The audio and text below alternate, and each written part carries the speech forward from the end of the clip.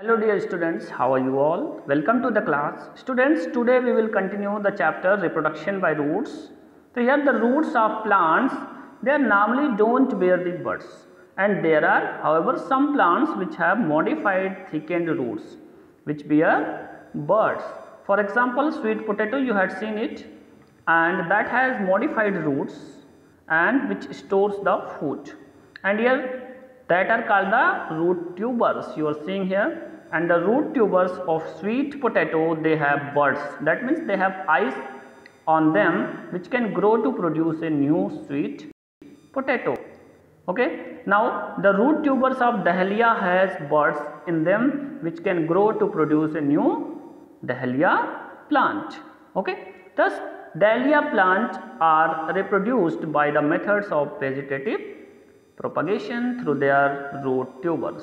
Students, next one is reproduction by leaves. Students, you have seen the bryophyllum leaves. So here you know that some plants reproduce themselves from leaves and the leaves of some plants they develop buds on them. Here you are seeing and that buds such leaves having buds and can be used a structure of vegetative reproduction in plants and on one example of plant which can reproduce from its leaves is bryophyllum.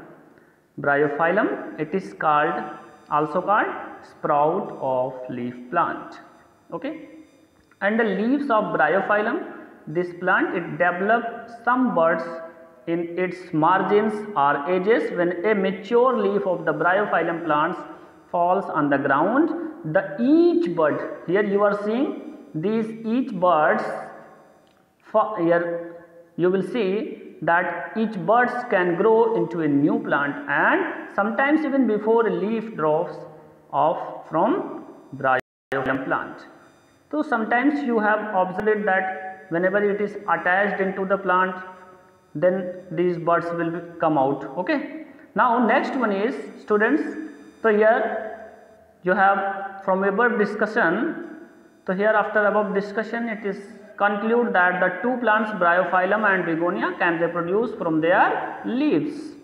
Here this one is an experiment. Here its aim to grow bryophyllum by the vegetative reproduction.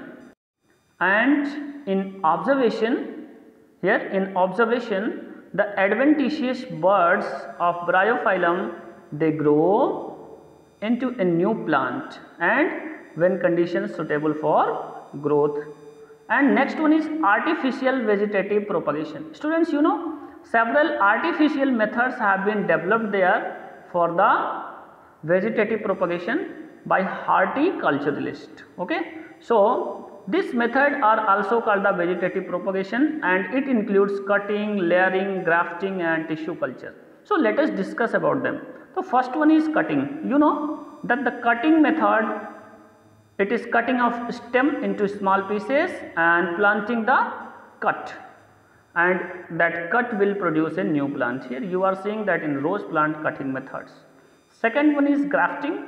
So in this method it is used to obtain a plant by combining two different plants thus produce a new variety a good variety with a features of two different plants and in this method a stem cutting that is called the scion with, without roots and from the plants it's attached and tied to other stem cutting parts called the stock.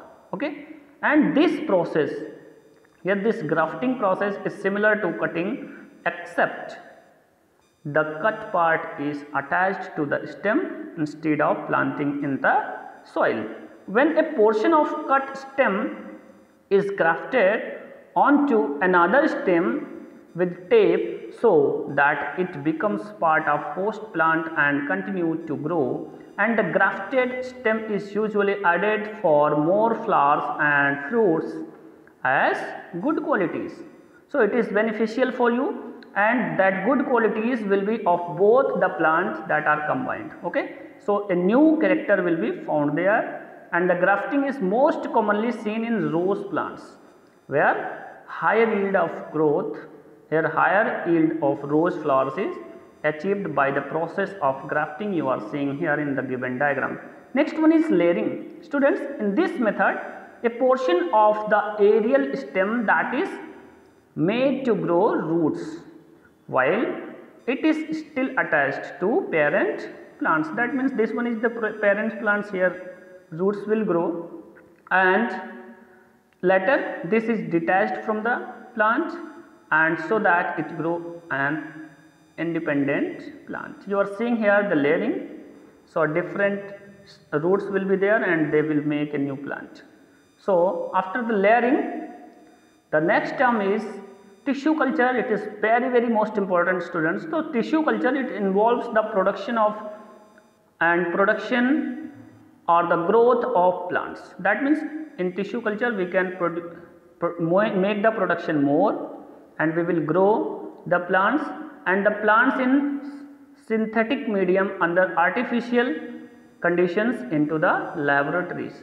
And here a kind of plant you know that may be grown in sterile medium where in tissue culture and using small parts of an existing plant in a test tube and the medium is which is used to grow the plants in a test tube that is rich in nutrients and suitable for growth of the sufficient plants. You know that plants need the nutrients okay so that these are used and an unorganized mass of cell wall here cell that is known as callus which develops from it okay. Now the callus is put in a hormone containing medium. That means firstly you will give it nutrition and callus will form. And after the callus you will put this callus into the medium which contains the hormones and which includes cell differentiation and the formation of plantlets and the plantlets develops in an independent plant when transferred to the soil and some examples of such plants that are cultivated using tissue culture techniques that are orchids, asparagus here, asparagus and chrysanthemum etc. Students this is sufficient for today and the remaining portion of this chapter we will discuss in our next video.